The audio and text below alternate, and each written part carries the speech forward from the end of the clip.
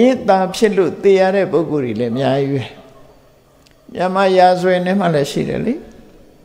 မင်းတို့မင်းကြီးရဲ့သားတွေဟာဘုရင်သားဖြစ်လို့ဒုက္ခရောက်တာတမန်အယတုယသားဆိုရင်ဘာမှဒုက္ခရောက်မှာမဟုတ်ဘူးနိုင်ငံတကာမှာလည်းပဲဒီတိုင်းပဲထီးမွေနမ်းမွေ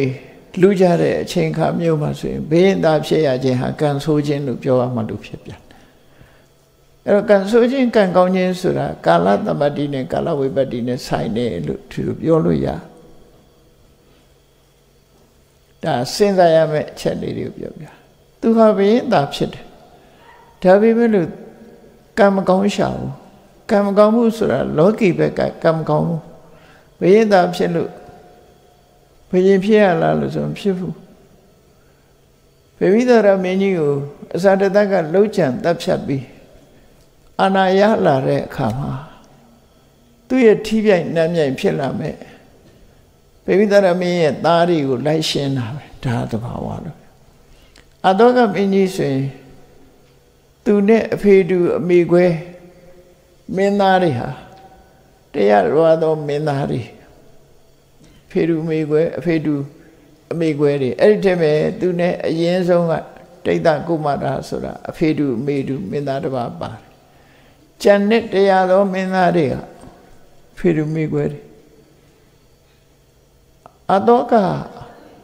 ဘေဝိဒရမင်းကြီးအချိန်ဒီဘိန္ဒုတာရမင်းကြီးအချိန်ဒီမကောင်းတဲ့အချိန်မှာတိုင်းပြည်ကိုလာပြီးအာဏာကိုချုပ်ကင်ထားလိုက်ပြီးကျန်တဲ့သူသူ့ရဲ့ညီကိုဝမ်းခွဲတွေကိုအကုန်တပ်ပစ်တာဒါကြောင့်သူ့ကိုစန္ဒသောကလို့ခေါ်တယ်အလွန်စိတ်ချမ်းကိုချမ်း နိုင်တဲ့အသောကလို့ဘုရားဘာသာမဖြစ်ခင်ကအလွန်ချမ်းတတ်နေပြီနောက်ပိုင်းမှာသူဘုရားဘာသာဖြစ်တာရှာဓုအနန္တနဲ့ပတ်သက်လာတဲ့အခါလူတဲ့လူတယ်လူလို့တရားတော်ဘာသောမင်းသားတွေအကုန်လုံးတတ်ပြစ်တယ်သူနဲ့ညီကို အဖေရူအမေရူဖြစ်တဲ့တိတ်တာဆိုတဲ့မင်းသားတစ်ပါးပဲခြံထားပြီးရန်ဆွဲရညှောက်နေကိုဂုံရှင်းတဲ့သဘောပေါ့ဘေဘိတာရမင်းကြီးမှလည်းပဲသားတွေရှိတယ်သို့တော့ဘေဘိတာရမင်းကြီးရဲ့သားတွေရဲ့အမည်နာမကိုတော့အကုန်မသိရဘူးပထမဆုံးမိဘရဲ့ခေါင်းကြီးကမွေးတဲ့သားမဟုတ်တဲ့ဒီဥဇိနိပြည်က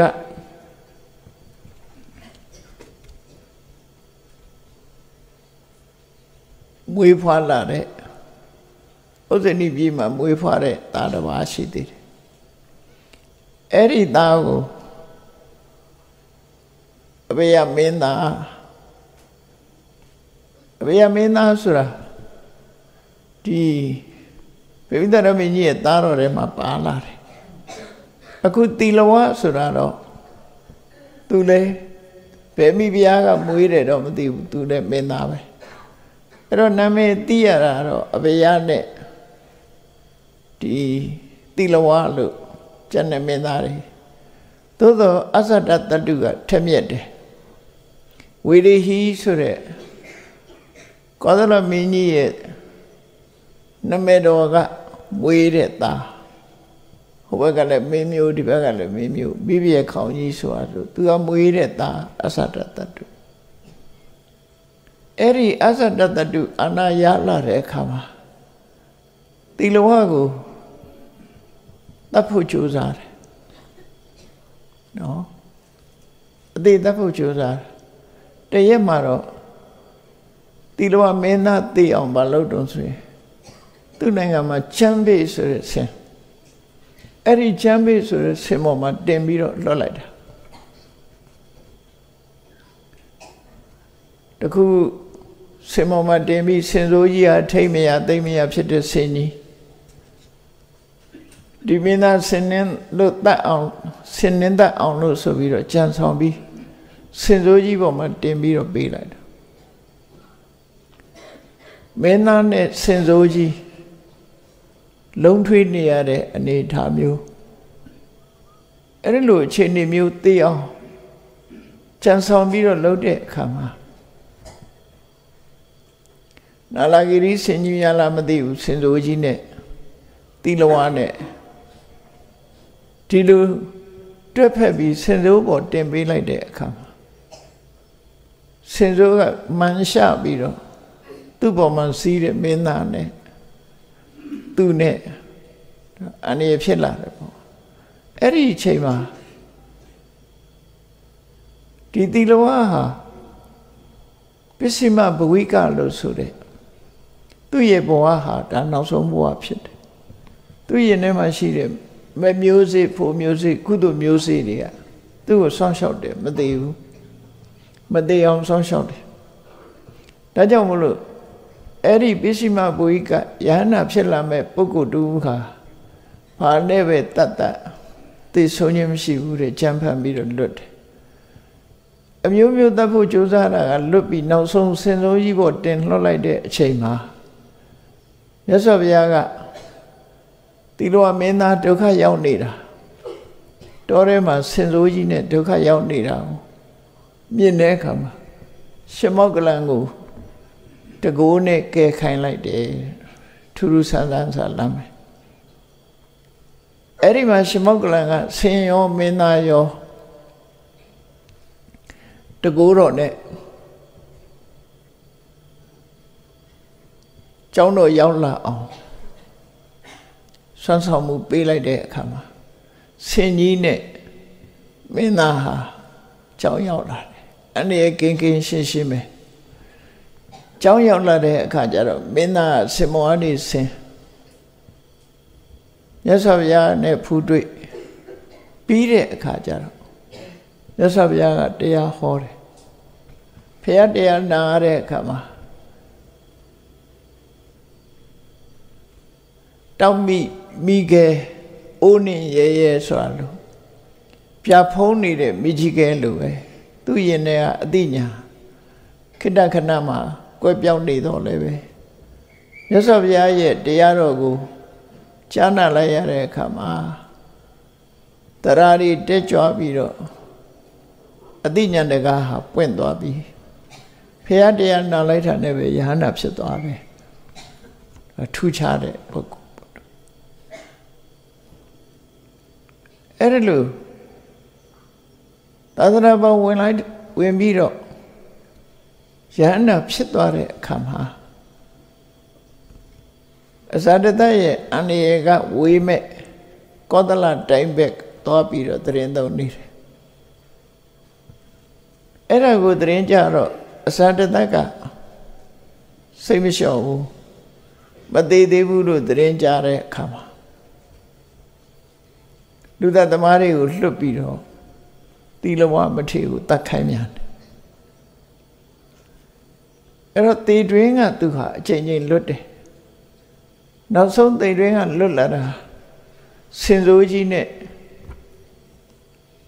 ဒုက္ခရောက်တဲ့အချိန်ကရှင်မောကလန်ရဲ့အကူအညီနဲ့လွတ်လာပြန်ရဟန်းဖြစ်လို့ရဟန္တာဖြစ်သွားတဲ့ခါမှလည်းပဲလူသက်သမားတွေလွတ်ပြီးတော့တပ်ဖြတ်ခြင်းကိုခံရပြန် အေးအဲ့လိုလူသက်သမားတွေတတ်ခိုင်းလိုက်တဲ့အချိန်မှာဘုံကံရှိတဲ့ပုဂ္ဂိုလ်ဆိုတာရုပ်တရက်လူသက်သမားဟာမတတ်ရဲဘူးသူ့ရဲ့အရှိန်ဝါကြောင့်မြန်မာရာဇဝင်မှာကြားဘူးကြလိမ့်မယ်ဝေးဝေးလန်လန်ကဟာမဟုတ်ဘူးမန္တလေးမှာအေရှိမင်းကနောင်မင်းသားကိုလှုပ်ကြံတပ်ဖြတ်ပြီး မင်းတို့မင်းကြီးပါတတ်ဖို့တပုံထားတယ်ပေါ့မြင်းကုန်းမင်းသားနဲ့မြင်းကုန်းတဲ့မင်းသားတို့ညီကိုနှစ်ယောက်ကရာတူအနာမက်လာပြီဆိုလို့ရှိရင်တော့အဖေတော်ဘာတွေးတော်ဆိုတာတွေသိပြီးတော့ခေါင်းထဲမှာမထည့်ကြဘူးရာတူရဖို့ပဲကြိုးစားတယ်မြင်းကုန်းတို့ မြင်းကုန်တိုင်းတို့အဲ့ဒီမင်းသားတွေဟာအသက်အရွယ်ရလာပြီးတော့အာနာပါဝါကိုလိုချင်တယ်သို့တော့သူတို့ရဲ့အနာဂတ်မျှော်မှန်းချက်ဟာပျောက်ကွယ်နေတယ်။ဘာကြောင့်ပျောက်ကွယ်တော့ဆိုမင်းတို့မင်းကြီးကဥစားပေးထားတာသူ့ရဲ့ညီတော်ကနောင်မင်းအိရှင်မင်းလည်းဖြစ်တယ်မင်းတို့မင်းမရှိတော့ဘူးဆိုလို့ရှိရင်ကနောင်မင်းကထီနန်း အုပ်ချုပ်မှာဖြစ်တယ်ကနောင်မင်းထီနန်းဆန်လို့ရှိရင်မင်းတို့မင်းရဲ့သားတော်တွေအဖို့မျှော်လင့်ချက်မရှိတော့ဘာကြောင့်လို့ဆိုကနောင်မင်းကလည်းကနောင်မင်းရဲ့သားတွေရှိတာနော်သားတွေရှိတော့သူ့သားတွေပဲယာတုဆက်ခံမှာဖြစ်တယ်ဗမာသမိုင်းမှာလည်းပဲအဲ့တိုင်းပဲနော်အဲ့တိုင်းဖြစ်တယ်အလောင်းမင်းတရားကြီးဥအောင်စရာကသူမသေးခင်မှာခဲ့ခဲ့တယ်ငါသားတွေဟောဒီလက်ချောင်း အတူရှိလို့မင်းတို့အစဉ်တိုင်းရှာဒုစက္ကံရမယ်ရှာဒုစက္ကံရမယ်လို့မှာခဲ့တာဒါအကြီးဆုံးဖြစ်တဲ့ရာဇွဲမှာနောင်တော်ကြီးမင်းလို့သုံးတယ်စကိုင်းမြို့တဲတာသူတဲတာနောက်ပိုင်းစကိုင်းမြို့တဲတာသူတဲတာအရင်ပထမဆုံးတဲတာကအသင်္ခရစောယွန်းသူတဲတဲ့မြို့ကအခုနန်းတော်ရရက်လို့ခေါ်တဲ့နေရာပဲ မတ္တိကျောင်းရှိတဲ့နေရာနာအလောင်းမတရားကြီးမရှိတော့တဲ့အခါနောင်တော်ကြီးမင်းကဒီနန်းဆန်နဲ့စကိုင်းမြို့တည်ပြီးတော့သူတို့ရဲ့အလောင်းမတရားကြီးရဲ့ရဲဘော်ရဲဖက်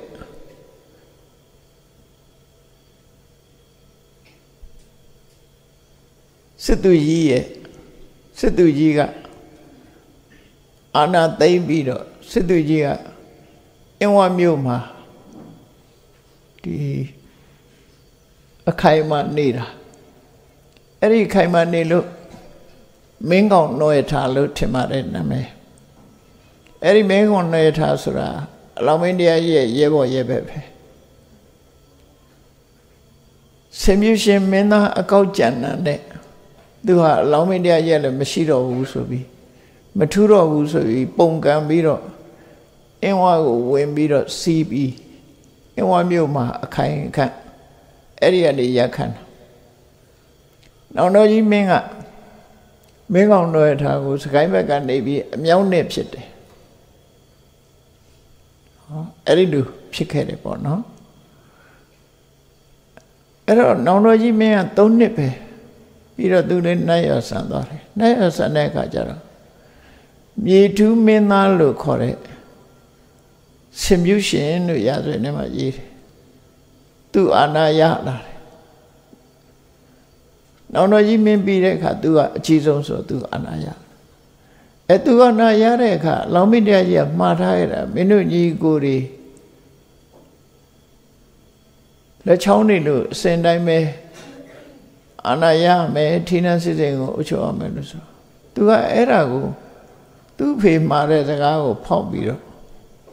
သူ့ရဲ့ထိရနန်းရံဖြစ်သူ့သားကိုထားလိုက်တယ်သူ့သားကစင်ကူမင်းလို့ခေါ်တယ်စင်ကူမင်းခေါင်းလောင်းဆိုတာသူ့လူတယ်နော်အဲ့ဒါလို့ဖောက်သွားတာအခုလည်းပဲမင်းတို့မင်းကမင်းတို့မင်းရဲ့တာအကြီးတွေကကနောင်မင်းသားအာနာယအိရှိမင်းသားအာနာယလာလို့ရှိရင်သူတို့အတွက်မျောလင်းချက်မရှိတော့ဘူး ဒါကြောင့်အိရှိမင်းသားတတ်ဖို့ကြိုးစားကြတယ်လီဆယ်ပြီးတော့တတ်ကြညီကိုနှစ်ယောက်တယောက်တယောက်ဓာတ်နဲ့ခုံလို့အော်ဟစ်ပြီးတော့ဝင်းလာတဲ့အခါမှာကနောင်မင်းသားကတူရီဆိုတော့ဟဲ့မလုံးကြနဲ့မလုံးကြနဲ့နဲ့ဖြန်ပြေးတာအဲ့ဒီအချိန်မှာကနောင်မင်းသားကိုခုတ်လိုက်ဓာတ်နဲ့ခုတ်တတ်လိုက်တယ် ဒါနဲ့ခုတ်တတ်ပြီးမင်းတို့မင်းကြီးပါတတ်ဖို့ကြံတယ်မင်းတို့မင်းကြီးကိုတတ်ဖို့ငပိုက်ကြီးဆိုတဲ့လူတယောက်မင်းတို့မင်းကအဲ့ဒီတော့နန်းတော်ထဲမှာမဟုတ်ဘူးခုကနောင်မင်းသားကြားတဲ့နေရာမှာရှားရီနန်းဆောင်မှာတရင်သုံးနေထိုင်ကြတဲ့အချိန်ပေါ့တဘုံထားတယ်တဘုံထားတယ်ဆိုတော့မင်းတို့မင်းကြီးကလည်းမလွယ်ပေါက်ကနေပြီးတော့နန်းတော်ထဲဝင်မှုလုံုံတဲ့နေရာကိုသွားတာ အဲ့ဒီမှာမင်းတို့မင်းလာရင်တတ်ဖို့ဆိုပြီးတော့ငပိုက်ကြီးဆိုတဲ့ကောင်ဓာတ်ထမ်းပြီးတော့ထားမင်းတို့မင်းရောက်လာတဲ့အခါကျတော့မင်းတို့မင်းကြီးဟဲ့ငပိုက်ကြီးလားလို့ခေါ်လိုက်တာနဲ့မတတ်ရဲတော့ကြောက်ဘုံကန်ရှိရင်မတတ်ရဲဘူးလို့ဒီလိုဆိုလို့ရပေါ့နော်ဟဲ့ငပိုက်ကြီးလားကြောကုန်းစမ်းဆိုပြီးတော့ကြောပေါ်တက်စီပြီးနန်းနဲ့ဝင်သွားမင်းတို့မင်းကြီးကအဲ့ဒါကြောင့်မသေးဘူးရဲဆွဲနဲ့မှလို့ရေးတာ အဲ့တော့အခုသီလဝမင်းသားကိုအချိန်ချင်းလှုပ်ကြတပ်ဖြတ်တဲ့အစာတတကနောက်ဆုံးမှာရဟန္တာဖြစ်ပြီးတဲ့နောက်တော့ကောသရတိုင်းမှာသတင်းသုံးနေတော့လူသက်သမားတွေလွတ်ပြီးတော့တတ်ခိုင်းတယ်အဲ့ဒီလူသက်သမားတွေဟာဘုံကံရှိတဲ့သီလဝမင်းသားကဖြစ်လာတဲ့ယဟန်ကိုတွေ့တဲ့အခါမှာမတတ်ရဲကြဘူးရုပ်တဲ့မတတ်ရဲတော့ သူတို့ကိုသီလဝမထေကတရားဟောတယ်အဲ့ဒီတရားဟောပုံလေးကိုဒီမှာမှတ်တမ်းတင်ထားတာဘာတရားဟောသလဲဆိုကိုကျင်တရားနဲ့ပတ်သက်တာဟောတယ်ဒီတရားဟောလိုက်တာကိုနာယူမှတ်သားကြပြီးတော့သူတို့ဟာတိလဝမထေကိုတတ်ရမဲ့အလုပ်မတတ်ရဲတော့ပဲနဲ့ သူတို့ကိုယ်တိုင်ပဲသာသနာပေါင်းဝင်ပြီးယဟန်ခံပြီးယန္နာဖြစ်သွားကြတယ်လို့ဆိုမှတ်တမ်းပေါ့နော်အဲ့တော့တိလဝမထေကသူတတ်မဲ့လာမဲ့လူတွေကိုကိုချင်းတိလရှိဖို့အတွက်ဒီတရားကိုဟောတာဖြစ်တယ်အဲ့ဒါကိုသီလဝမထေရဲ့အမတ်တရားစကားများဖြစ်နိုင်ယူမှတ်သားကြရအောင်သီလကိုဥတည်ပြီးတော့ သာသနာတော်ရဲ့ကျင့်စဉ်တစ်ခုရှင်းလင်းဟောကြားခြင်းပဲဖြစ်တယ်လောကမှာသီလဘလောက်အရေးကြီးတယ်သီလရဲ့အကျိုးကျေးဇူးဘလောက်ရှိတယ်ဆိုတာသူ့နာမည်နဲ့လိုက်အောင်နာမည်သီလဝလို့ဆိုတဲ့အတိုင်းသီလရဲ့အကျိုးကျေးဇူးတွေကို ရှင်းလင်းဟောကြားတာပဲဖြစ်တယ်အဲ့တော့လူသားသမားတွေကိုစတင်ပြီးတော့ဘာဟောတော့ဆို သီလမေဝသီလမေဝိဒသိခေယသီလမေဝိဒသိခေထဒီလောကကြီးမှာတဲ့ကိုချင်းသီလဟာအရေးအကြီးဆုံးဖြစ်လို့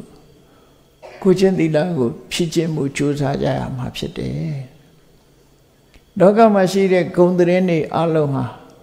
သီလမှာပဲတည်ကောင်းတဲ့ကုသိုလ်တရားတွေမှန်သမျှလည်းပဲ သီလပေါ်မှာယက်တည်ကြတယ်သီလမရှိဘူးဆိုရင်အလုံးဟာပျက်စီးသွားနိုင်တယ်ဒါကြောင့်မို့ရှင်သေးစီသည်တင်ကြီးရွှေခွဲမှသာတည်တယ်လို့ဆိုသလိုပဲကုသိုလ်တရားတွေအားလုံးဟာသီလရှိမှသာလေပြည့်စုံနိုင်တယ်ဒါကြောင့်သီလမေဝိထသိခေထကိုကျင့်သီလကောင်းအောင်ကြိုးစားကြဒီစကားစပြီးတော့ဟောတယ် အတ္တမိန်လောကေသူတိခိတံဒီလောကမှာကျင့်ကြံကြိုးကိုအထုတ်ထိုက်တဲ့အရာဟာသီလပဲဖြစ်တယ်သီလံဟိတပ္ပတပ္ပတိဘာဖြစ်လို့ကျင့်ကြံကြိုးကိုအထုတ်ထိုက်တဲ့အထက်မှာသီလဟာအရေးပါတယ်လေလို့ဆိုရင်သီလံဟိတပ္ပတပ္ပတိဥပနာမေတိတေဝိတံသီလကိုအရေးတယူ လိုက်နာကျင့်သုံးမယ်ဆိုရင်စိစိတ်ချမ်းသာအားလုံးဟာပြည့်စုံလာနိုင်ပါတယ်လို့ဆိုလိုတယ်သီလရှိသူထံပြည့်စုံမှုတွေအားလုံးဟာရရှိလာနိုင်တယ်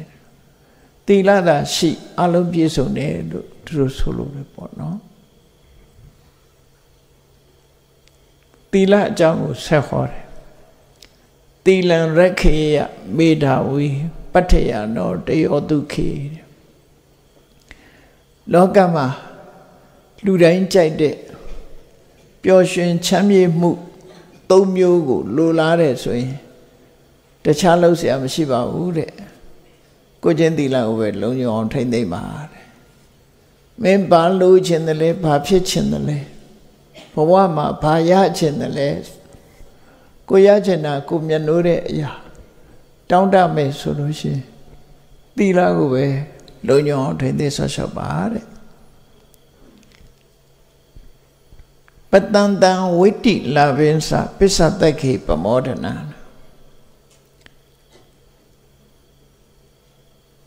ဒီအချက်၃ချက်ဒါတော့လောကလူတွေအများစုကြိုက်တဲ့အကျိုးကျေးဇူးပေါ့ပတန်တဆိုတာ ဂုံတရင်ကြီးမားခြင်းချီးမွမ်းခံရခြင်းနေနာပတန်တာလို့လောကမှာလူတွေကချီးမွမ်းတာဆိုကြိုက်တယ်ချီးမွမ်းခံရရင်ကြိုက်တယ်ကဲ့ရဲ့ခံရရင်စိတ်ဆိုးတယ်ဘယ်သူပဲဖြစ်ဖြစ်ချီးမွမ်းတာဆိုရင်ကြိုက်တယ်နော်မဟုတ်မှန်သိရင်တောင်မှပဲကိုချီးမွမ်းရင်သဘောကျတယ်ကိုချီးမွမ်းရင်သဘောကျတယ်မဟုတ်မှန်တော့သိတယ်ဒါပေမဲ့ငါကြိုက်တယ် တူတွေကအဲ့လိုပြောလို့ရှိကြတယ်အဲ့တော့ချီးမွမ်းခံရတာကိုလူတွေကကြိုက်တယ်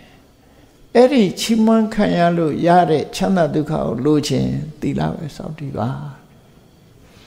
နောက်တစ်ခုကတော့ပစ္စည်းဥစ္စာပေါ်ခြင်းနဲ့ကိုလိုချင်တာရတယ်စီစဉ်ဥစ္စာကြွယ်ဝချမ်းသာခြင်းနဲ့ဝိတ္တိလာဘနှစ်သက်ကျင့်တဲ့ဆရာကောင်းတဲ့စီစဉ်ဥစ္စာတွေ ရခြင်းနဲ့ဆိုလို့ရှိရင်လည်းကိုချင်းသီလပဲလုံညောင်းထိသိဆော့ဆော့ပါပစ္စတက်ခိပမောဒနာဒီဘဝမှာချီချီးမွမ်းခံရတယ်ပစ္စည်းဥစ္စာပေါ်များတယ်ဆိုတဲ့အခြေအနေကောင်းတွေရရှိပြီးနောင်ဘဝမှာလည်းပဲကောင်းတဲ့သူတိဘုံရောက်လို့ပျော်ရွှင်ဝမ်းမြောက်ရတယ်ဆိုတာလေသီလရဲ့အကျိုးတရားသာဖြစ်တယ်လို့ဟော သီလကိုဆွန့်လျှောက်ခြင်းအပြင်ဒီဘဝမှာလည်းပဲဂုံတရင်ကျွဲတယ်စီစဉ်ဥစ္စာပေါ်များတော့ပေါ်များတယ်နောက်ဘဝရောက်တဲ့အခါမှာလည်းကောင်းကျိုးချမ်းသာပြည့်ဝတဲ့စိတ်ပျော်ရွှင်စရာကောင်းတဲ့ဘဝမျိုးကိုရရှိတယ်ဒါကြောင့်သီလဟာလောကတရားတွေလူချင်းတဲ့အရာတွေကိုပေးနိုင်တာဖြစ်လို့ သီလကိုထင်းထင်းဆော့ဆော့အောင်မယ်တဲ့ဒါတွေမကဘူးတဲ့စဉ်းစားကြည့်လိုက်သီလဝါဟိဘဟုမိတ်တေတင်ညမေနာဓိကိစတိလောကမှာကိုချင်းသီလကောင်းတဲ့ပုဂ္ဂိုလ်ဟာနှုတ်ကိုဆောင်စည်းခြင်းကိုမှုကိုဆောင်စည်းခြင်းလို့ဆိုတဲ့ကာယကံဝစီကံကိုထိမ့်သိမ့်ဆော့ရှော့တတ်တယ်ပေါ့စကားပြောလေပဲသီလကိုချင်းတရားကောင်းတဲ့ပုဂ္ဂိုလ်ဟာ လက်လွတ်စပယ်မပြောဘူးသူတော်ကထိခိုက်အောင်မပြောဘူးကိုဒီလေးရောက်နေလေတစ်ဖက်သားဒုက္ခရောက်အောင်မလုပ်ဘူးတင်ညမဆိုတာထိမ့်သိမ့်ဆော့ရှော့တယ်ကာယကံဝစီကံကိုထိမ့်သိမ့်ဆော့ဆော့ခြင်းကြောင့်သူ့ကိုလေးစားချစ်ခင်တဲ့မိတ်ဆွေတွေအများကြီးရတယ်လို့ဆိုလို့တယ်။ဟောသီလရှိပြီဆိုလို့ရှင်သူ့ရဲ့ဆောင်စည်းမှုကြောင့်အနေထိုင်ကောင်းမှုကြောင့်အလုံးကသူ့ကိုချစ်ခင်ကြတယ်လေးစားကြတယ်မေတ္တာသက်ဝင်ကြတယ် မိတ်ဆွေဆိုတာမေတ္တာသက်ဝင်တဲ့ပုဂ္ဂိုလ်တွေဆိုလို့တယ်ပေါ့နော်။သူ့ဘောမှာမေတ္တာသက်ဝင်တဲ့ပုဂ္ဂိုလ်တွေအများကြီးရတယ်တဲ့။ဒုတိလောပနာမိတ်တေဟိဒန္တတေပပမာစရာကိုချင်းတရားပြက်ပြားနေတဲ့ပုဂ္ဂိုလ်တယောက်ကမကောင်းတဲ့အကျင့်ဆိုးတွေကိုကျင့်တယ်ဆေရိုက်ဆိုးတွေကြောင့်မို့လို့မိကောင်းဆွေကောင်းတွေကသူ့ကိုခွာသွားတယ်တဲ့မိကောင်းဆွေကောင်းရှိတောင် သူနဲ့မပေါင်းကြတော့ဘူးဒီကောင်းမကောင်းဘူးပေါင်းတယ်မလို့ကြတော့ကိုချင်းတရားပြက်ပြားသွားပြီဆိုရင်မိတ်ဆွေတွေကဆုံးရှုံးနေတာသွားနိုင်တယ်ဘာကြောင့်လဲသူ့ရဲ့ကိုချင်းတရားမကောင်းမှုကြောင့်ပဲလို့ဒါကြောင့်သီလဟာဓမ္မအရေးပါတယ်ဆိုတာကိုရှင်းပြတယ်ဒါတည်းမကဘူးအဝဏ္ဏစအကိတ္တိစဒုတိလောလပတိ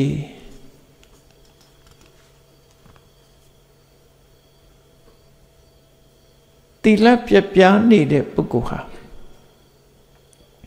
ဒီ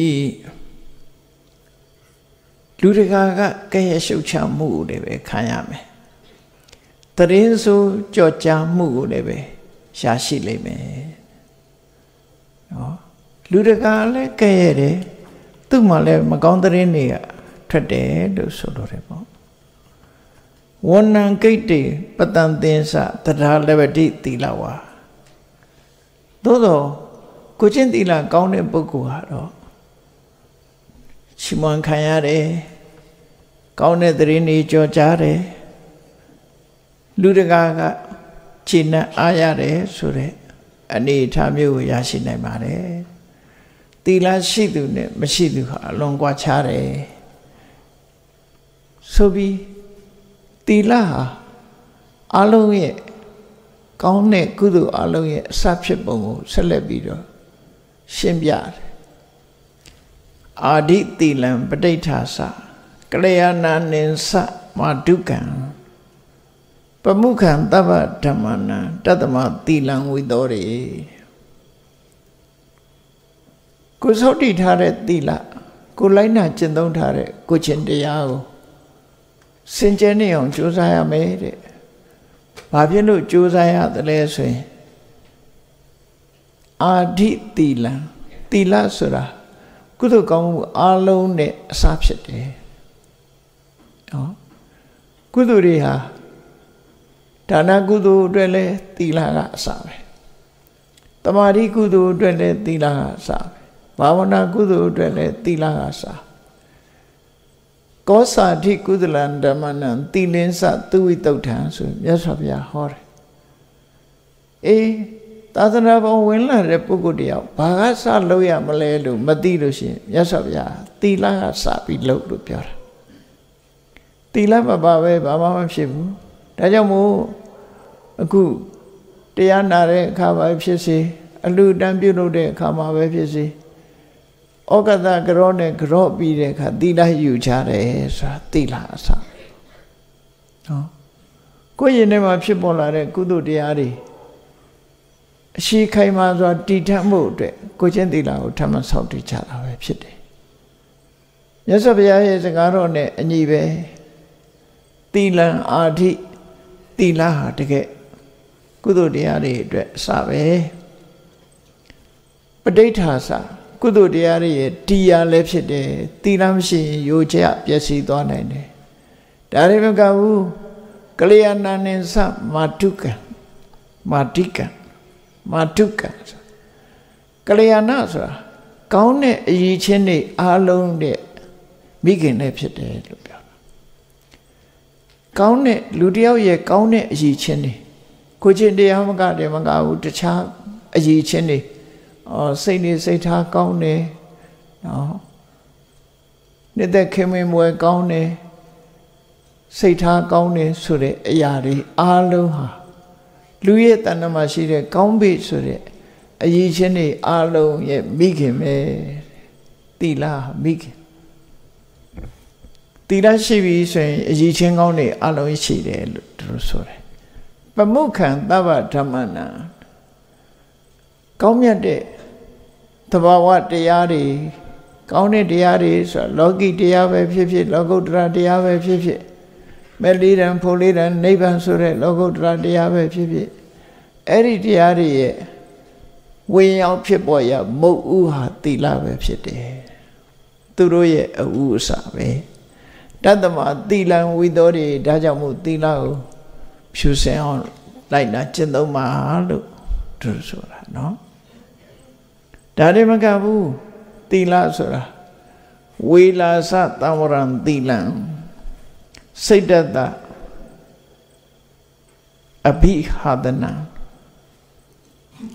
သီလဟာဘာနဲ့တူတော့ဆိုရင်ကန်းဆက်နဲ့ကန်းနဲ့လာဒရန်တူတယ်ကံပေါင်ရိုးလို့ကန်းမြစ်ထဲကမြည်ရည်ဟာကန်းရှိလို့မြည်ရည်တွေဟာသူ့လမ်းကြောင်းတိုင်းသူစီးနိုင်တာဖြစ်တယ် အကယ်၍ဘေးကဘောင်ခတ်ပေးထားတဲ့မြစ်ကမ်းဆိုတာမရှိဘူးဆိုလို့ရှိရင်ဒီရေတွေဟာအခုလိုစနစ်တကျမြစ်ကြောင်းနဲ့စီးမှာမဟုတ်ဘူးတီလာရှိနေပြီဆိုရင်နိဗ္ဗာန်ထိအောင်တီလာဆိုတာကမ်းနဲ့လာသရံတူတယ်ကမ်းကဘောင်ခတ်ပေးသည့်အတွက်ကြောင့်မြစ်ရည်တွေဟာပင်လယ်ထိအောင်ရောက်သွားတယ်ဒါကြောင့်လူတွေမှာလည်းပဲတီလာကဘောင်ခတ်ပေးထားတဲ့အတွင်း တီလာရဲ့ဘောင်တွင်းကနေပြီးကုသိုလ်တွေလှုပ်ဆောင်သွားရင်နိဗ္ဗာန်လို့ဆိုတဲ့ပင်လယ်ကိုရောက်သွားမှာပဲလို့ဒီလိုဆိုလိုတယ်ပေါ့နော်ဝေလာစတံဝရံတိလံတံဝရတိလဆိုဆောင်စည်းမှုပဲဆောင်စည်းရမယ်ဆောင်စည်းတယ်ဆိုတာပြောချင်တာတွေမပြောရဘူးစိကံနဲ့ပြောတယ် သူများထိခိုက်မယ်ကိုထိခိုက်မယ်နှုတ်လုံးထိခိုက်မယ်ဆိုတဲ့စကားမျိုးမပြောဘူးလှုပ်ချင်တာတွေမလှုပ်ဘူးစိကံအတွင်းကနေလှုပ်တယ်မလှုပ်တဲ့နာကိုရှောင်တယ်ဒါတွေကသီလတွေပဲဒါမှုဆောင်စည်းမှုတဲ့စိတ်တတအဘိဟာဒနာသီလပြည့်စုံတဲ့ပုဂ္ဂိုလ်ရဲ့စိတ်ဟာဘယ်တော့မှစိတ်ညစ်ရတယ်လို့မရှိဘူးကိုယ်သီလကိုအာရုံပြုလိုက်လို့ရှိရင် ဝန္တာအာရရွှင်ပြမှုကိုဖြစ်ပေါ်စေတယ်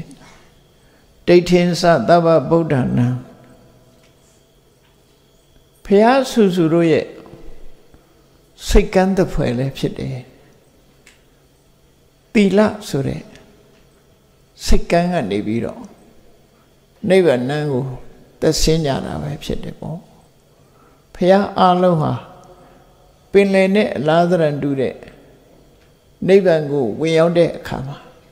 တီလဆိုတဲ့ကံကနေဝင်ရတာပဲစိတ်ကန်းကြီးသို့မဟုတ်စိတ်ကန်းရှိတာအနေတွေကကင်းတဲ့အရာတစ်ခုဖြစ်တယ်ဒီကန်းကနေပြီးတော့ပဲတက်ကြရတယ်ပေါ့ပေါ်တက်ပြီဆိုရင်ဒီကန်းဘောနေတက်ကြဒါကြောင့်မို့ဖះဆူဆူပြိဋိဘံ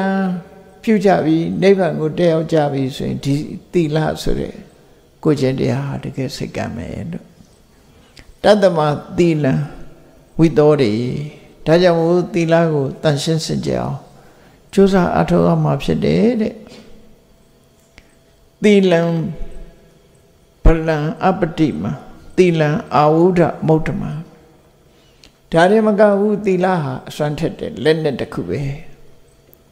သီလံဗလံသီလဟာခွန်အားတရားပဲကိုချင်းသီလံကောင်းတဲ့တယောက်ဟာ ကောင်းတဲ့ပုဂ္ဂိုလ်တယောက်ဟာခွန်အားအပြည့်အဝရှိတယ်သီလဗလဆိုခွန်အားရှိတယ်နော်ကိုချင်းတရားကောင်းတာနဲ့ပဲအရာရာမှာသူ့ကိုရွေးချယ်ခံရတယ်ဒါသူ့ရဲ့ခွန်အားပဲပေါ့နော်ခွန်အားတစ်ခုပဲရွေးချယ်လိုက်တဲ့အရေးချင်းတစ်ခုအဖြစ်ရရှိသွားတယ်အပတိမန်တုဖက်တဲ့ကိုချင်းတီလာဟာလူတွေရဲ့ရွေးချယ်လိုက်တဲ့ အရေးချင်းတွေမှာသူ့ကိုရှင်းပြိုင်မဲ့တခြားအရေးချင်းမရှိဘူးတဲ့ဒါကြောင့်မို့လို့အလုတ်ခံရင်တော့မှစာရိတ္တကောင်းတယ်မကောင်းဘူးဆိုတာလာတာပဲလေစာရိတ္တကောင်းမကောင်းဟာမတ္တမအရေးကြီးတာအာဒီလူကစာရိတ္တမကောင်းဘူးဆိုရင်ပညာဘလောက်တော်တော်မခံဘူးအဲ့လိုမခံဘာကြောင့်လို့ဆိုရင်ဒါသီလနဲ့ရှင်လိုက်ရင်တော်တာတွေသာဖယ်လိုက်တယ် နော်စာရိတ္တကောင်းတယ်ဆိုတာစာရိတ္တကောင်းမွန်ချောင်းထောက်ခံစားတွေပဲဒီယူရသေးတယ်ပေါ့လားအဲ့တော့သီလဆိုတာကိုကျင့်တရားကောင်းတဲ့ပုဂ္ဂိုလ်တွေဟာဥစားပေးခြင်းကိုခံရတယ်ဒါမှမဟုတ်တုဖက်သူ့မှာတုဖက်ပြိုင်တဲ့အရာမရှိဘူးလို့ဆိုလို့တယ်ဒါတွေမကဘူးကိုချင်းတီလာဟာကိလေသာတွေကိုတိုက်ပွဲဆင်တဲ့အခါမှာအကောင်းဆုံးလက်နဲ့လည်းဖြစ်တယ် တီလံအာဝုဒမုဒ္ဓမံကိလေသာဆိုတာလောဘကိုနှိပ်ကွပ်ဖို့ဒေါသကိုနှိပ်ကွပ်ဖို့မမနာတွေအိတ်တာတွေမစ္စရိယတွေမကောင်းတဲ့စိတ်ဓာတ်တွေကိုနှိပ်ကွပ်ဖို့တီလာအကောင်းဆုံးလက်နဲ့ပဲဟုတ်တယ်လေသူရတဲ့မတတ်ချင်းကတတ်မှုကရှောင်ရှားတယ်သူဥစ္စာခွေးယူခြင်းမှာရှောင်တယ်ဆိုရှောင်တယ်ဆိုတဲ့စွမ်းရည်စတိတွေမကောင်း ကိုချင်းတရားလို့ဆိုတဲ့မွန်မြတ်လာတဲ့အနေအထားတစ်ခုဟာကိရိတာဆိုတဲ့အဆိုးတရားတွေကိုအောင်မြင်အောင်တိုက်ပွဲဆင်ခြင်းပဲဖြစ်တယ်ပေါ့တီလာဆိုတဲ့လက်နဲ့နဲ့ဖြိုချဖျက်ဆီးလိုက်လို့ရှင်အဆိုးတွေဟာယက်တိနိုင်တော့မရှိတော့ဘူးဒါကြောင့်မို့သီလံအာဝုဒမုဒ္ဓမံအကောင်းဆုံးလက်နဲ့တစ်ခုဖြစ်တယ်သီလံမပရဏံတစ္ထံ ဒါတွေမကဘူးလူတွေကအလှဆင်ញင်ကြတယ်ခန္ဓာကိုယ်လှဆင်တယ်အိမ်ကိုလှဆင်တယ်ကြောင်းကိုလှဆင်တယ်ပတ်ဝန်းကျင်ကိုလှဆင်တယ်အေးဘာတွေလှဆင်ထားတာမျက်စိထဲမှာလှတယ်လို့ဆိုပြီးမဲ့လို့ကိုချင်းသီလပြက်ပြားပြီဆိုရင်အဲ့ဒီအလှတွေဟာအလကားပဲကိုချင်းသီလကောင်းတဲ့ပုဂ္ဂိုလ်ရဲ့ဒီဆက်ဆံရေးဟာအလှပဆုံးပဲဖြစ်တယ်လို့ဒါကြောင့်မို့ သုဒ္ဓနှစ်ခုမှဆိုလို့ရှိရင်မြတ်စွာဘုရားဟောထားတာရှိတယ်သီလံယာဝစရာတာဓုတဲ့ကိုချင်းသီလဆိုတာတဲ့အိုဒီထီအောင်ကောင်းတယ်ဆိုတာဘာပြောတာတော့ကိုချင်းသီလကောင်းတာဟာအသက်အရွယ်မရွေးကောင်းတယ်လို့သူတို့ဆိုလိုတယ်တစ်သက်လုံးကောင်းတယ်လို့ဆိုလိုတယ်ကိုချင်းသီလဆိုတာကိုကိုယ်တဏ္ဍမှာရှိနေပြီဆိုရင် အသက်အရွယ်ငယ်တဲ့ပုဂ္ဂိုလ်လေးတွေရှိရင်လည်းကြည်စမ်းမှာကလေးနဲ့မလိုက်ဘူးကိုချင်းတရားကောင်းလိုက်တာလူငယ်လူရွယ်ဆိုတဲ့အခါမှာလည်းပဲအော်ပြောရပါမယ်အရာတောင်ကိုချင်းသီလကောင်းလိုက်တာလို့ချီးမွမ်းကြတာ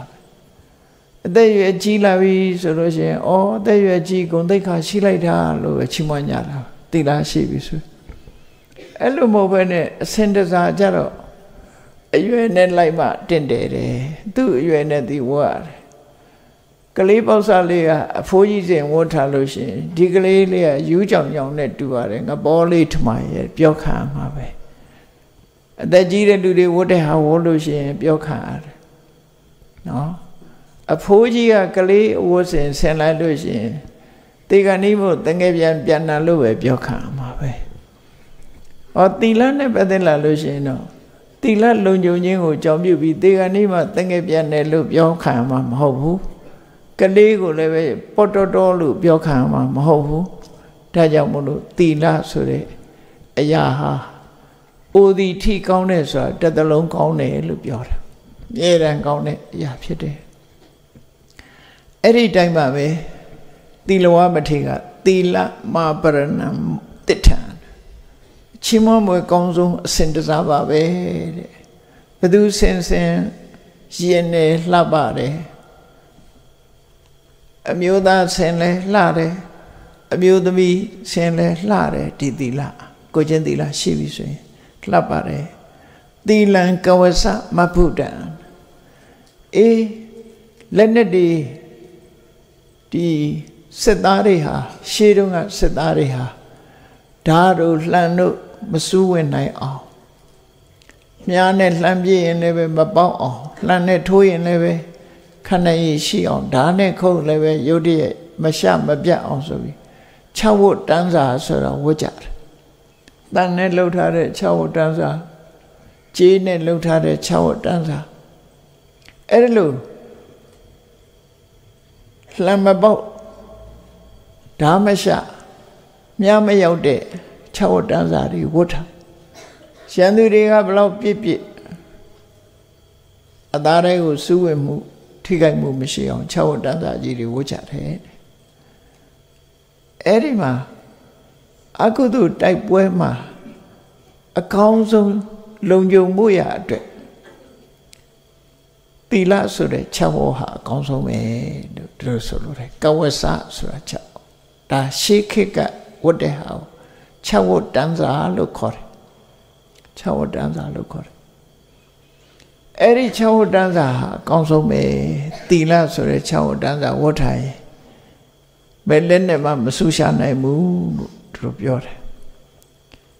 ဒါတွေမကဘူးသီလရဲ့အကျိုးကျေးဇူးတွေကိုထုတ်ဖော်ပြီးတော့ပြောတယ်သီလံတေတုမဟေတခောတိလံခန္ဓောအနုတ္တရောတိလဟာဒီ တစ်ဖက်ကန်းကိုဖြတ်ကူးဖို့ရအတွက်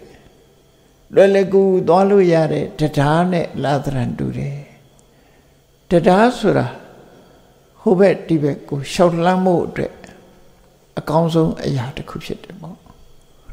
အဲ့ဒါလို့ဘဝတန်တရားကနိဗ္ဗာန်ကိုကူဖို့ဆိုလို့ရှိရင်တီလဆိုတဲ့တရားဟာအရေးကြီးတယ်ပေါ့တရားမရှိဘူးဆိုရင်ဟိုဘက်ကန်းကိုကူးနိုင်မှာမဟုတ်ဘူးဒါကြောင့်မို့ တီလဟာအစွမ်းတတ္တိထက်တဲ့အစွမ်းကြီးမားတဲ့တရားတစ်ဖွဲ့ဖြစ်ပါတယ်တီလဆိုတဲ့တရားကနေဖြတ်လိုက်လို့ရှိရင်နိဗ္ဗာန်ဟာအနည်းလေးပဲရောက်သွားမယ်လို့သူဆိုလို့ရပေါ့နော်သီလံခန္ဓောအနုတ္တရောတဲ့လူလောကမှာလူတွေဟာကိုယ်ခန္ဓာကိုယ်ကအနန္တတွေကိုကာကွယ်ဖို့ပဲဖြစ်စေ အမွေးနန္တာပေးဖို့ပဲဖြစ်စေအပြင်ကနန္တာတွေကိုသုံးချလေရှိကြတယ်ပေါ့နော်ရှင်မွေးစားတဲ့နန္တာတွေခန္ဓာကိုယ်ဆွဖြန်းပြီးတော့ကိုယ့်ရဲ့ပဂရိနတ်တွေကိုကာကွယ်ကြတယ်မွေးကြိုင်တဲ့အနတ်တွေဖြစ်အောင်လုပ်ကြတယ်အဲ့ဒီအနတ်တွေဟာတကယ်တော့ချီးမွမ်းတိုက်တဲ့အနတ်တွေမဟုတ်ပါဘူးတဲ့ တိလဆိုတဲ့ဂုံယနန်းကမှပဲတကယ်အကောင်းဆုံးယနန်းမှာသီလရှိပြီဆိုလို့ရှိရင်သူ့ရဲ့ဂုဏ်သတင်းဟာပြန်သင်းပြီးတော့နေတယ်ခုနကအမွေးအနတ်အရသာအမွေးအနတ်နေအနတ်နေဟာလေအောက်ကလူအတွက်သာအသုံးကြတယ်လေတင်ကနေလို့ရှိရင်အဲ့ဒီအနတ်နေဟာလေတင်ကိုမရောက်ဘူးတဲ့သီလဆိုတဲ့အနတ်ကတော့လေတင်လေအောက်ဘယ်နေရာမှမရွေးပဲ အထက်အောက်ဘယ်နေရာမှမရွေးဘူးတညီတဲ့လောကကြီးတစ်ခုလုံးကိုပြန့်နှံ့ပြီးဘယ်ပုဂ္ဂိုလ်ဖြင့်ကိုချင်းသီလကောင်းတယ်ဆိုတဲ့ကိုချင်းသီလတရင်ဟာတော့အလုံးကိုပြန့်နှံ့ပြီးခုံတရင်ကိုကြီးမားစေတယ်အလုံးကနှစ်ချိုက်တဲ့ယနတ်ပဲဖြစ်တယ်ပန်းရဲ့ယနတ်ကိုရရှိတဲ့ပဒုံးတွေဟာ ဒီပန်းယနတ်ရှိတဲ့နေရာကို ပြန်တန်းပြီးတော့လာချသလိုတိလယနတ်ထုံထားတဲ့သူတော်ကောင်းကိုနယ်လေးရအရက်လေးမျက်နှာကလူတွေကလာရောက်ပြီးတော့ဖူးမြော်ကြတယ်ဒီသဘောကိုပြောတာနော်အလုံးကိုဆွတ်ဆောင်နိုင်စွမ်းရှိတယ်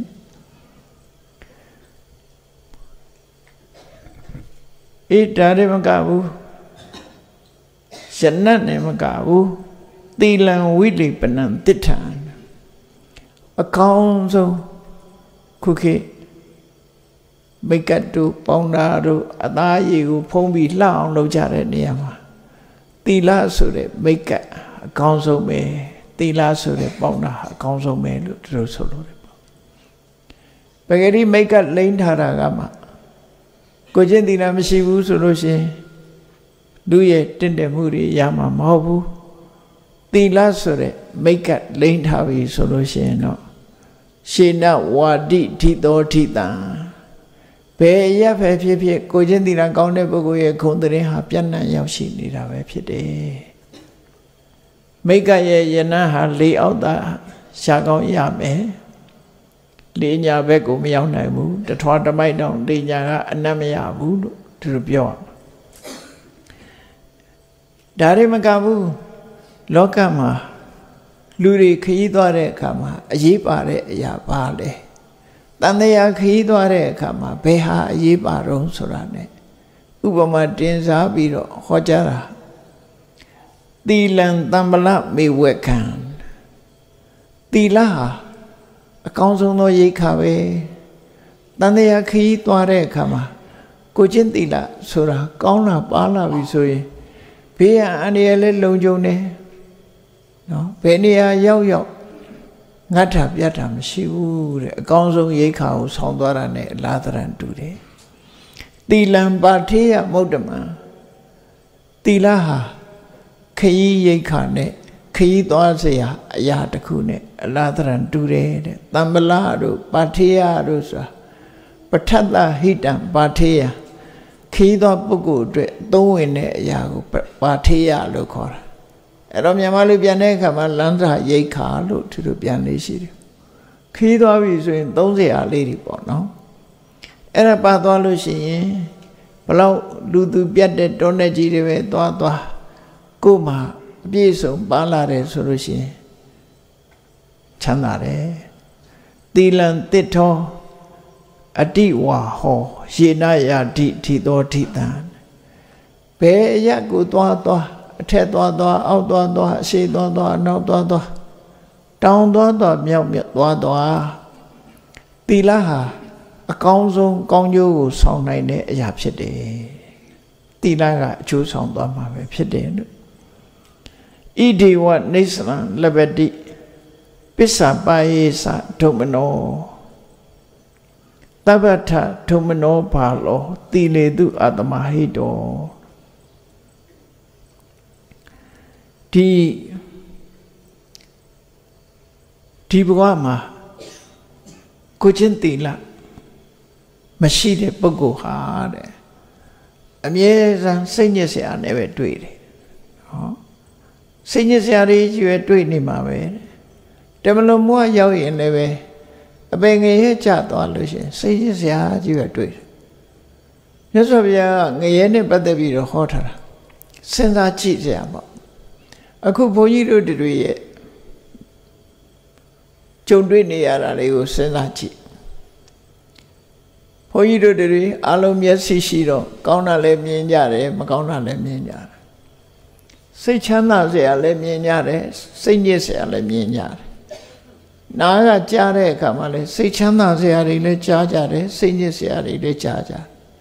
နှာခေါင်းကအနံ့အလည်းပဲကောင်းတဲ့အနံ့ရှူရတယ်လို့မကောင်းတဲ့အနံ့လည်းရှူရတယ် လျှာကအရသာလည်းကိုကြိုက်တာရတယ်လို့မကြိုက်တာလည်းရတတ်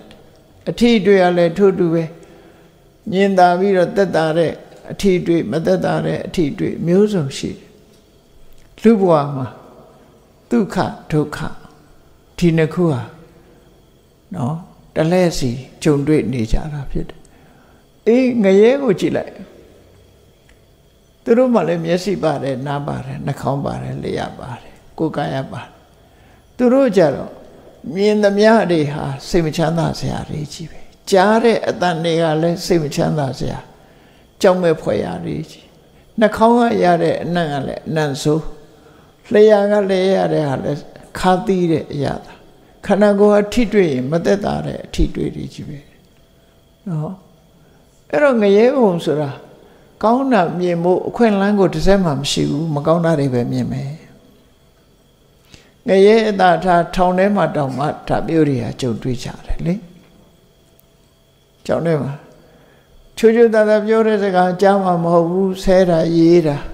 ဒါပဲကြားမှာဟိုငရဲမှာကျတော့ဘယ်သူမှဒီကောင်လေးတနာပါတယ်ဆိုတဲ့တရင်ကြပြောတာရှိမှာမဟုတ်ဘူးဒီကောင်တတ်လိုက်ချလိုက်ရိုက်လိုက်နှက်လိုက်နေပဲဒီကြောက်စရာအတန်တွေပဲကြာမှာပဲမြင်ကွင်းမှလည်းပဲအဲ့လိုပဲ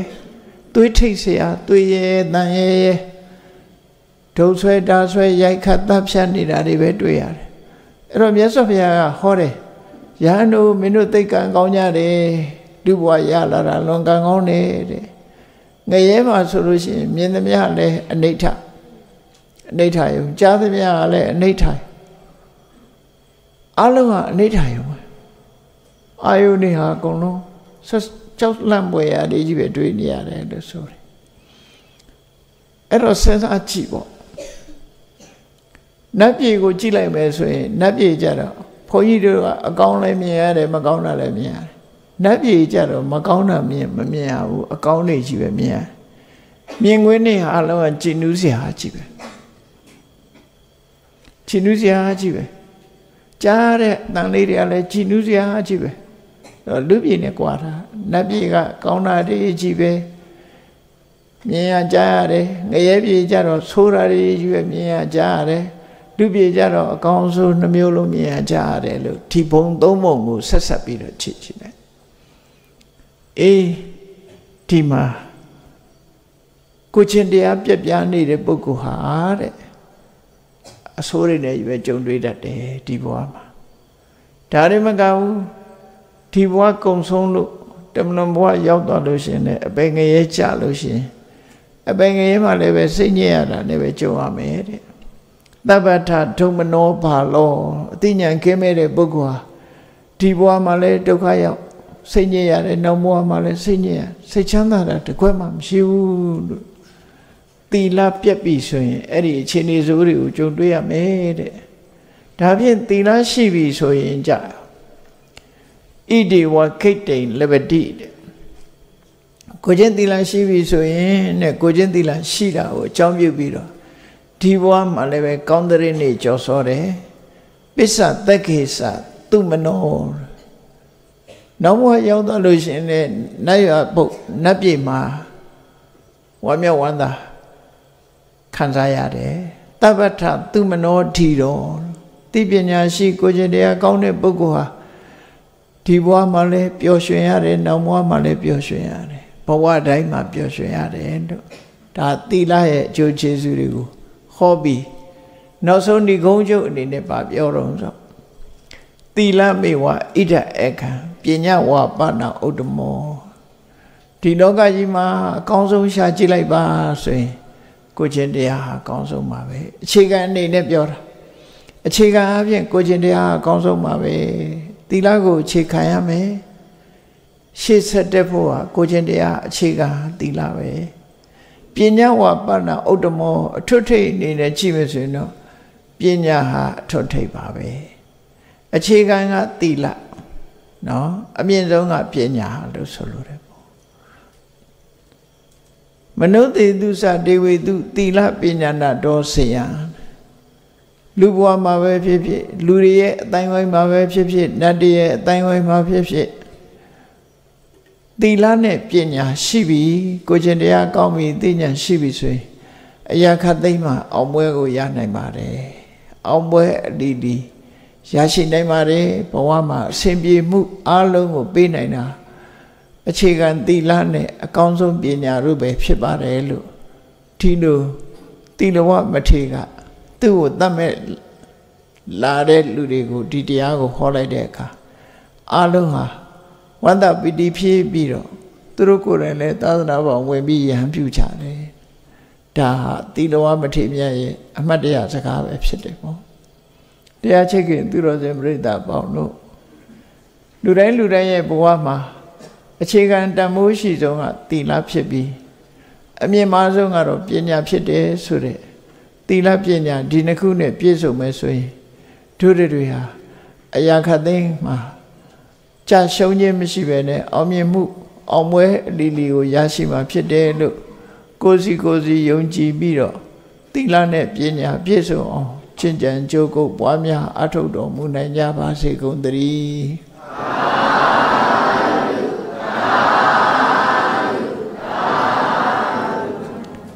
မေတ္တာပို့ရအောင်တတဝများစွာတတဝများစွာဖေးရန်กว่าဖေးရန်กว่าချမ်းသာကြပါစေချမ်းသာကြပါစေတတဝများစွာတတဝများစွာဖေးရန်กว่าဖေးရန်กว่าချမ်းသာကြပါစေချမ်းသာကြပါစေမေတ္တာရေချမ်းမေတ္တာရေချမ်းသုံးငါဖြံသုံး ငါငြိမ်းချမ်းကြပါစေငြိမ်းချမ်းကြပါစေမေတ္တာရေချမ်းမေတ္တာရေချမ်းသုံးငါဖြံသုံးငါဖြံငြိမ်းချမ်းကြပါစေငြိမ်းချမ်းကြပါစေသက်ရှိချမ်းမာသက်ရှိချမ်းမာစိတ်ချမ်းသာစိတ်ချမ်းသာလူရဆန္ဒပြေပါလေလူရဆန္ဒပြေပါလေသက်ရှိချမ်းမာသက်ရှိ စိတ်ချမ်းသာစိတ်ချမ်းသာလူရဆန္ဒပြေပါစေလူရဆန္ဒပြေပါစေဖုံလန္တဒုက္ခပင်ကစားမေတ္တာပုံနေတုသင်္ကမမနောတရတိတဗ္ဗေတံဘဝယန္တုဒုက္ခနကမေတ္တာပုံနေတုသင်္ကမစုပေါင်းပုအမေတ္တာတဟုရောင်ပြူပါဝင်ငွေလာမင်းနှင့်ရောင်ကြီးရှဲ့ယုံပေါင်းဆောင်ရခြင်းကြောင့် သဗ္ဗေတံကျွေးမဲ့ဥတုံနှုံးစုံများစွာတတ္တဝါတို့ဤမနောတရတိမြင်မြဖြူစင်အေးကြည်လင်းသည့်ရေစင်ပြည့်တင်းစိတ်နှလုံးတည်ဟုသောရေအိုင်ကြီးအတွင်၌ဒုက္ခပင်ကစားစင်ထာဝရအေမြจิตသာတာယာပွင့်လန်းချမ်းသာဒုက္ခတည်းဟုသောကုမုဒ္ဒရာကြာပန်တို့သည်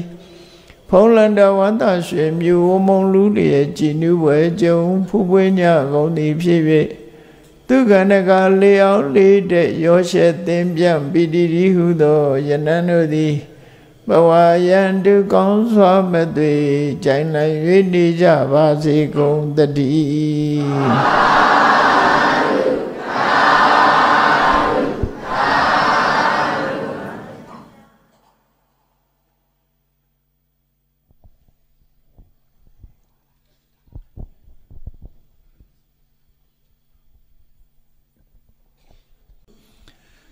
ကျေးဇူးရှင်ဆရာတော်ဘုရားယနေ့ညလူတိုင်းရသော ကောင်းမှုအစွစုတို့အတွက်တရားအလူရှင်များနှင့်တကွတရားနာပိသက်ပေါင်းသူတော်ကောင်းတို့နှင့်အတူ32ဘုံကျင်လေကုန်သော လူနတ်မြမဝိနည်းတတ္တဝါအပေါင်းတို့အားကုသိုလ်အမြကိုစီရရှိကြစေရန်အလို့ငါရေဆက်သွန်းချဝေမြလိုကြသည်ဖြစ်ပါ၍ရေစချတရားဟောကြားချီးမြှင့်တော်မူပါယံခြေတော်အစုံဥခ၍ ယုတိစွာလျှောက်ထားအပ်ပါသည်ဖေဟာဆွချအရှင်ဖေယရှင်ဖေယယာရုဣတောရုတိယာရုဣတောရုတိဓမ္မအတိညာဓမ္မအတိညာယာရှိမသာလင်ယာရှိမသာလင်နိဗ္ဗာန်ချမ်းသာကိုနိဗ္ဗာန်ချမ်းသာကိုရမျက်မှောက်ပြုနိုင်ပါသောကြောင့်ဓမ္မအတိညာ ရရှိစေရန်ဤတန်ကြလျက်ဓမ္မတပင်ရှင်ကျင်ပါပြုလို့ကြ၍အမတဒါနာဓမ္မဒါနာတရားအလူတော်ကိုပေးလူကြပါကုန်၏တ ရားတော်မြတ်ကိုယုတိလေးမြတ်စွာမမတ်သာသာအာယုန်ထားလျက်နာကြားကြပါကုန်၏တရားတော်မြတ်ကိုတတဗဝတ္ထုသုစုတို့ဖြင့်ပူဇော်ကြပါကုန်၏ ယနေ့ယခုအာထုတ်ပြုလုပ်ကြရသောတရားဟောရခြင်းဓမ္မဒေသနာတရားနာရခြင်းဓမ္မတဝနာတရားတော်ကိုပေးလူရခြင်းဓမ္မဒါနာတရားတော်ကို ပူဇော်ရခြင်းဓမ္မပူဇာကုသိုလ်စေရနာဖြာဖြာတို့သည်ဒုက္ခခတ်သိချုပ်ငြိမ်းရမှန်ယနိဗ္ဗာန်ဤအကြောင်းထောက်ပံ့ဖြစ်ပါစေသာရှင်ဘုရား ဤကောင်းမှုဤအဖို့ဘာကကိုအမိအဖာ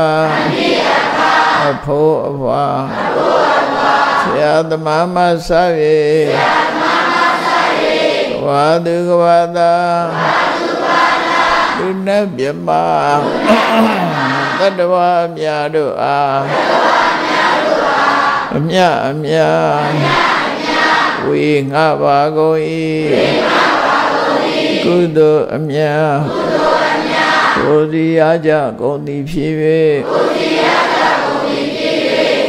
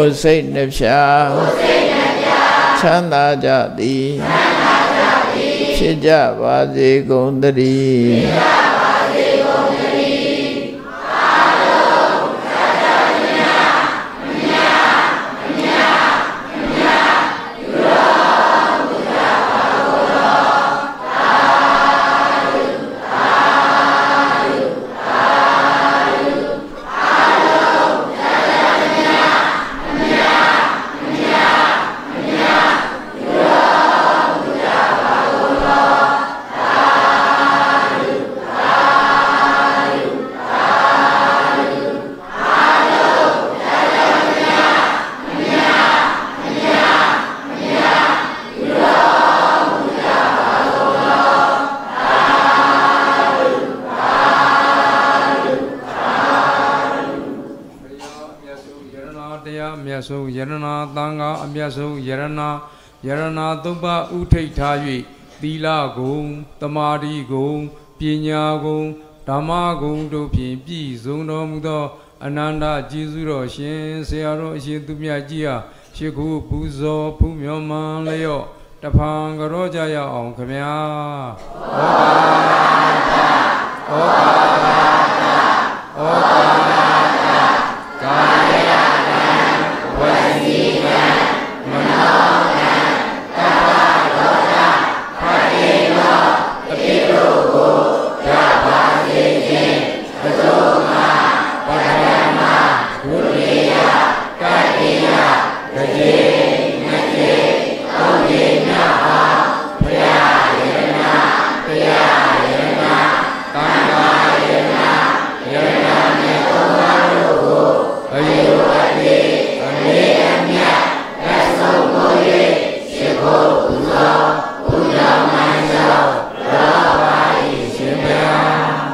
သဗ္ဗိတိယောဝိဝိသန္တုသောကောရောကောဝိနတတု